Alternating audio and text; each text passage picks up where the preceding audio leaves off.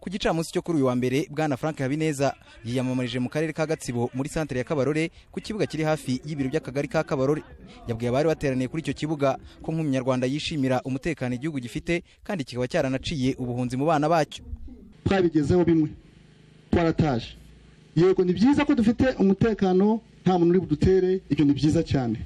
Ku rundi ruhande ariko umukandida w'ishyaka democratic green party yavuze ko kuvugurura ubuhinzi hafatwa amazi y'imvura aho bibaye ngombwa ay'imigezi n'ibiyaga na yo akiyambazwa byafasha mu kwihaza mu biribwa ibintu yemeje ko ari bimwe mu byo yakwihutira gukora mu gihe yaramuka atowe tuzashyiraho gahunda ifatika yo kuvomerera imyaka yacu dufate ayo mazi y'imvura dufate amazi yo mu butaka ndetse dushobora no kwitiza amazi yo mu biyaga.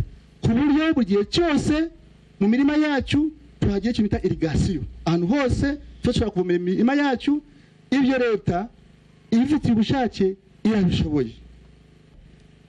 Tuzabikora ku buryo inka zacu zinaha amatungo yacu ntabwo azajya kwicwa n'izuba.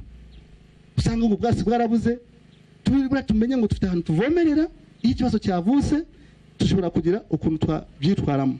Ndetse niba na ngombwa tuzajya tubifata n'ukuntu tubika n'ubwatsi tububike. Uretse mu karere ka gatsibo byari biteganyijwe kandi ko umukandida w'ishyaka democratic green party bwana frank habineza yiyamamariza mu murenge wa rwimiyaga mu masaha ya mbere ya saa sita ku kibuga cy'urwunge rw'amashuri rwa rwimiyaga.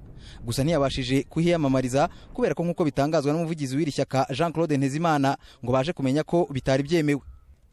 Ibi kandi byashimangiwe n'ubuyobozi bw'umurenge wa rwimiyaga buvuga ko gukorera ibikorwa byo kwamamaza ku kibuga cy'ishuri ndetse kiri hafi y'isoko binyuranyije n'amategeko ndetse n'amabwiriza ya komisiyo y'igihugu y'amatora agenga ibikorwa byo kwiyamamaza.